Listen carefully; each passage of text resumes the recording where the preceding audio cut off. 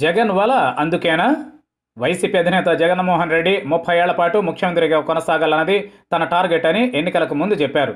అందుకు అనుగుణంగానే జగన్ అధికారంలోకి వచ్చిన వెంటనే అడుగులు వేస్తున్నారు. తెలుగుదేశం పార్టీని బలహీనపరచడంతో పాటు తమ ఓటు బ్యాంకును మరింత పటిష్టపరచుకోవాలన్నది జగన్ వ్యూహంగా కనిపిస్తోంది. వచ్చే ఎన్నికల్లో టీడీపీకి ఏ సామాజిక వర్గమూ మద్దతు ఇవ్వకుండా ముందుగానే జగన్ గ్రౌండ్ ప్రిపేర్ చేసుకుంటున్నట్లు జరుగుతున్న పరిస్థితులను బట్టి అర్థమవుతోంది. ఆంధ్రప్రదేశ్లో బలమైనది కాపు సామాజిక వర్గం. ఓట్ల శాతాన్ని తీసుకున్న కాపు సామాజిక వర్గానిదే ఆధిపత్యం. రెండు వేల పద్నాలుగు ఎన్నికల్లో కాపు సామాజిక వర్గం చంద్రబాబుకు అండగా నిలవడం వల్లనే గెలుపు సాధ్యమైంది. అయితే ఎన్నికల్లో చంద్రబాబు కాపులకు ఇచ్చిన హామీలను అమలుపరచకపోవడంతో ఈసారి ఆ సామాజిక వర్గం ఆయనకు దూరమైంది. ప్రధానంగా కాపు రిజర్వేషన్ల విషయంలో వారు చంద్రబాబుపై ఆగ్రహంతో ఉన్నారు. జగన్ కూడా తన పాదయాత్రలో కాపు రిజర్వేషన్లపై కుండ బద్దలు కొట్టేశారు.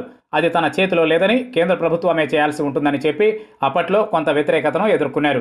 ఇక జనసేన అధినేత పవన్ కళ్యాణ్ వెనుక ఈ సామాజిక వర్గం నిలబడాల్సి ఉంది.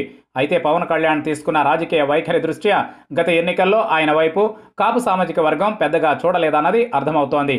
పవన్ కళ్యాణ్కు వచ్చిన ఓట్లలో ఎక్కువ ఓట్లు అదే సామాజిక వర్గానికి చెందినవని మాత్రం ఖచ్చితంగా చెప్పొచ్చు. అయితే పవన్ కళ్యాణ్పై ఆ సామాజిక వర్గంలో నమ్మకం లేదు. పవన్ నిలకడలేని మనస్తత్వం అధికారంలోకి వస్తారన్న ఆశ లేకపోవడంతో గత ఎన్నికల్లో కాపుల్లో ఎక్కువ మంది జగన్ వెంట నిలిచారు. అందుకే కాపు సామాజిక వర్గాన్ని జగన్ దగ్గరకు తీస్తున్నారని చెబుతున్నారు. వచ్చే ఎన్నికల్లో తనకు కాపు సామాజిక వర్గం అండగా నిలబడాలని కోరుకుంటున్నారు. అందుకే ఇప్పటికే ఆ సామాజిక వర్గం నేతలు తోట త్రిమూర్తులు ఆకుల సత్యనారాయణ వంటి నేతలను పార్టీలోకి చేర్చుకున్నారు. వీరి అవసరం ప్రస్తుతం లేకపోయినా భవిష్యత్ అవసరాలను దృష్టిలో ఉంచుకునే వీరిని చేర్చుకున్నారు.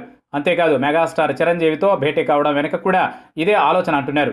రానున్న కాలంలో కాపు సామాజిక వర్గం నేతలను మరింత మందిని చేర్చుకునేందుకు జగన్ రెడీ అవుతున్నట్లు తెలుస్తోంది. మొత్తం మీద ఏపీలో బలమైన సామాజిక వర్గానికి జగన్ వల వేస్తున్నట్లు అర్థమవుతోంది.